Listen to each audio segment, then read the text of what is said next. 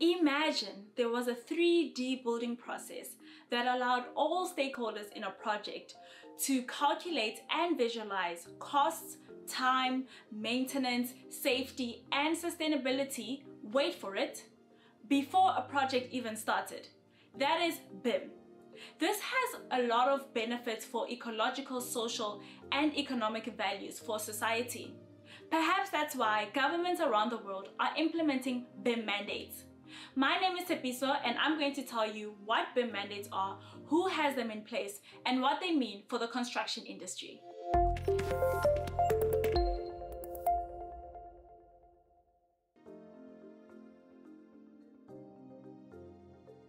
A BIM mandate is a set of policies implemented by governments for centrally procured projects.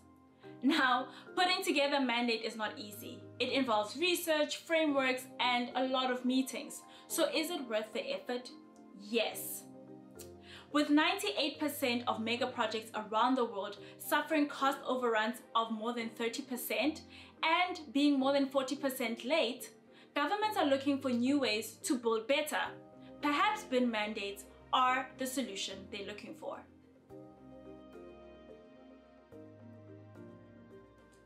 The status of BIM mandates around the world varies.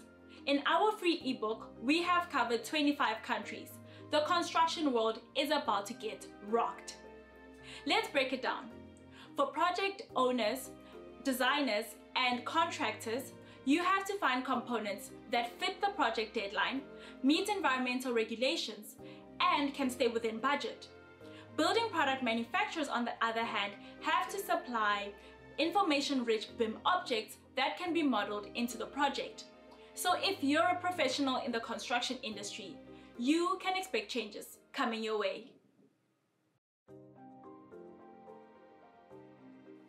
The first country to implement BIM mandate was Denmark in 2007 for all new construction and restorations. Other countries that have BIM mandates in place are Germany, Chile, Brazil, Malaysia, Norway and the list goes on. There are strategies and roadmaps in place in various countries for BIM mandates. So the question isn't if there will be a BIM mandate, but when there will be a BIM mandate. My question to you, are you ready for a BIM global takeover? So now you're in on the secret. Download our free ebook to see the status of BIM mandates around the world.